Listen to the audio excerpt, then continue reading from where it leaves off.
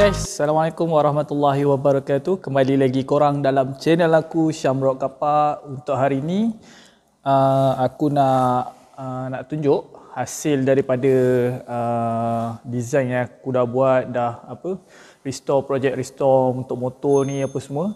Jadi uh, jom kita lihat hasil dia. Disebabkan uh, warna untuk cover set motor ni warna oranye lah. Uh, Jadi aku untuk apa untuk motor ni aku buat restore daripada engine okey engine cover set chassis dan macam-macam lah aku restore untuk motor ni. Uh, memang kita memang aku buat untuk motor ni spek standard kilang okey So kepada korang yang baru dalam aku punya channel ni, baru tengok aku punya channel, uh, korang jangan lupa klik subscribe, like dan komen, aktifkan butang loceng untuk mendapatkan info video terbaru dalam aku punya channel ni. Okey, jadi sekarang ni jom kita lihat hasil dia. Sebenarnya aku dah buat lama dah untuk motor ni, cuma tak sempat nak review untuk motor yang telah siap ni. Jadi untuk hari ni tibalah masa untuk kita uh, tengoklah kondisi motor ni macam mana. Okey. Okey guys, inilah motornya hasil dah pun siap. Korang boleh tengok.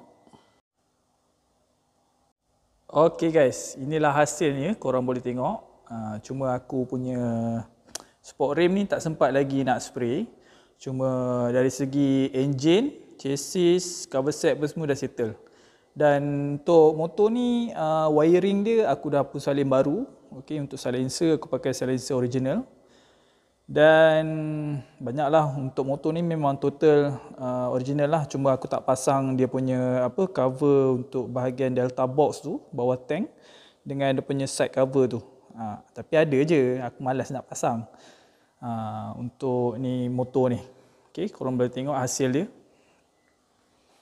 Uh, cuma agak sayang sikit lah untuk cover set motor ni aku uh, untuk spray cover ni aku menggunakan spray uh, samurai undercarriage tu uh, sepatutnya spray undercarriage tu sepatutnya guna untuk engine untuk casing engine sebab uh, cat tu dia jenis cat yang bergerutu Okay. Uh, korang boleh tengok lah mana-mana video samurai ke uh, pasal uh, untuk cat uh, undercarriage ni. Okay. Macam mana dia punya efek dia. Kalau korang boleh tengok, kalau korang tengok motor ni depan-depan eh, dia punya cover set ni dia menggerutu tau. Menggerutu kecil. Tapi cantik lah sebenarnya. Kan? Sebab dia walaupun dia undercarriage tapi dia adalah cat untuk uh, 2K punya punya jenis lah. Uh, dia jenis 2K. Okay. Kau boleh tengok sepenuhnya. Alright. Fork pun untuk fork ni uh, aku naikkan sampai habis. Motor ni aku nak buat inspection eh dengan JPJ untuk hidupkan balik dia punya rod tag disebabkan owner yang sebelum ni aku beli motor ni dah pun tamat tempoh selama 7 tahun. Okey, sejak 2013. Okey. Korang boleh tengok.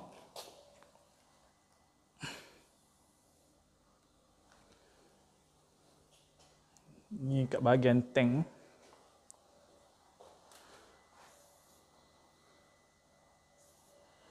Okay.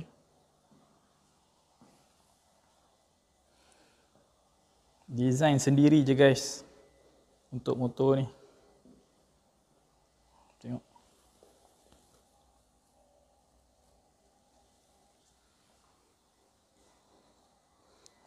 Alright. Uh, lepas. Okay guys, selepas kita dah tengok tadi macam mana dia punya hasil dia, korang boleh drop komen kat bawah macam mana dia punya hasil dia. Agak-agak menarik ataupun tak.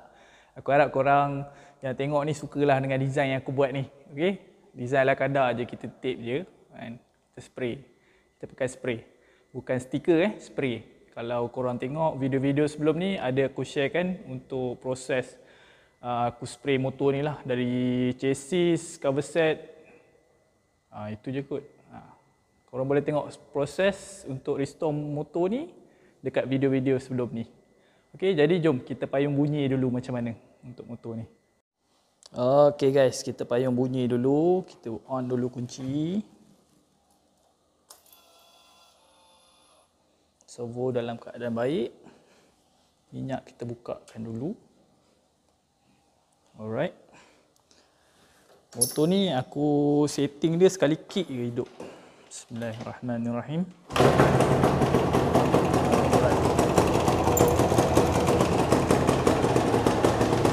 Ah.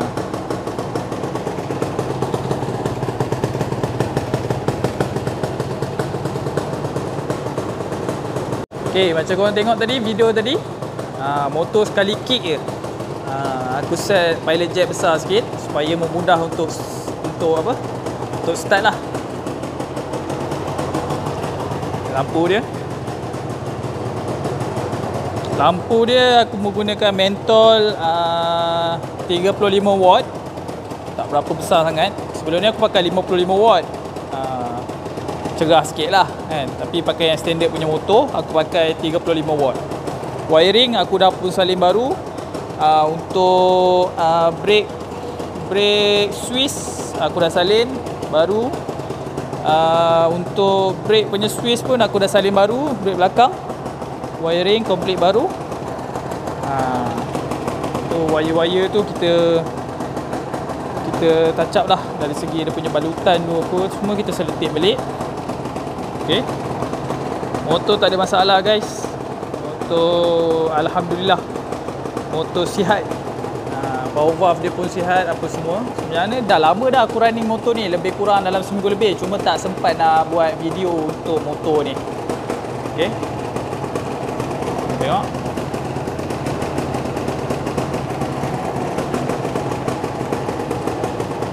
Nah, dah pun siap motor ni. Sprocket untuk motor ni aku menggunakan 1747. Uh, ha, spek motor ni lain macam sikit. Ha, tapi aku malas nak aku nak malas nak apa? Malas nak cakap banyak untuk ni. Spek motor ni kita biarkan dia rahsia lah. Cuma yang untuk spek yang engine yang korang tengok yang video sebelum ni Spang International Circuit tu uh, ini engine dia uh, cuma bearing je lah aku boleh beritahu aku menggunakan uh, bearing NTN Japan uh, dia punya clearance aku pakai C3 clearance dia aku pakai C3 dan motor ni minggu depan aku nak hantar untuk inspection JPJ lah untuk dah hidupkan balik dia punya ni alright Okay guys, rasanya tu saja perkongsian aku terhadap uh, motor ni, pasal motor ni. Jadi korang yang baru tengok aku punya channel, korang jangan lupa klik subscribe, like dan komen, aktifkan butang loceng untuk mendapatkan info video terbaru dalam aku punya channel ni.